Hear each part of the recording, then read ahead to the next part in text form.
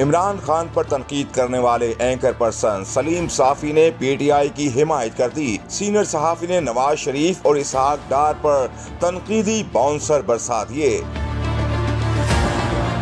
तहरीक इंसाफ के Twitter account से नवाज़ शरीफ की तस्वीर शेयर की गई और लिखा गया कि अवाम को पाकिस्तान की तारीख की सबसे ज़्यादा महँगाई के अजाब में डालकर पेट्रोल दो सौ बयासी रूपए लीटर आरोप पर पहुंचाकर इसहाक डार शाही प्रोटोकॉल में भगोड़े नवाज़ शरीफ के साथ अयाशियों में मगन हैं।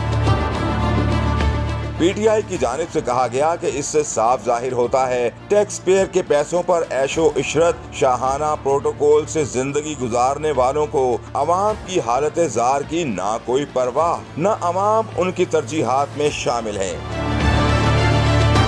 उस पर सलीम साफी ने भी पीटीआई की हाँ में हाँ मिलाई। जवाब दिया कि इस वक्त मीशत को संभालना और एक एक लम्हा इसके लिए वक्फ करना इस हाक डार का फ़र्ज़ है।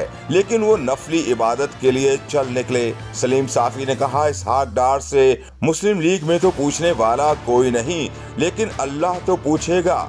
शायद सऊदी दोस्त भी उनसे पूछें, एक तरफ़ भीख मांगते हो और दूसरी तरफ़ कई रोज के लिए इधर चले आए हो।